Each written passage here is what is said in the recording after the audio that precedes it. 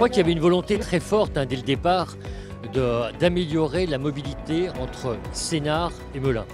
Hein, et de tourner vers euh, une mobilité douce. Hein. le TZN a cette possibilité à la fois euh, d'accélérer la fréquence, euh, d'avoir un espace dédié, donc du coup une meilleure maîtrise du temps. Aujourd'hui à Savigny, ben, c'est le symbole qu'en équipe, on peut y arriver, que grâce au TZN, on a une restructuration totale des quartiers à Savigny et que ça ne correspondait pas simplement à un problème de mobilité, c'est aussi la ville de demain.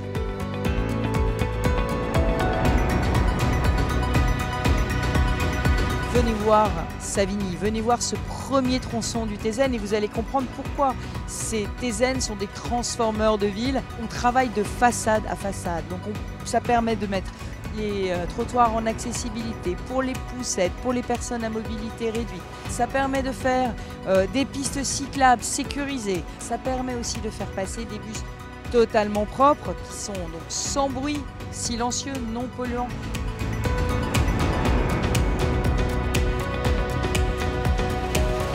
Fallait que la commune s'y investisse pour répondre vraiment aux besoins des habitants. Ils ont besoin d'avoir un cadre de vie qui soit un cadre de vie apaisé. Le transport collectif, c'est une des réponses aux enjeux climatiques.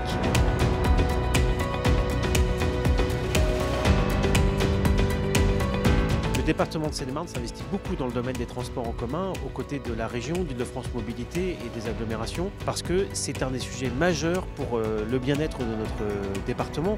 L'accès aux études, à son entreprise, aux loisirs, à la culture, tout ça est déterminé par l'efficience des, euh, des transports en commun. Et c'est pour ça que le département prend sa part de responsabilité et s'investit beaucoup. Le TZM2, c'est une formidable opportunité pour les territoires de Melun et de Sénart d'être beaucoup mieux desservis par les transports en commun et donc de faciliter la vie euh, au quotidien de tous les habitants.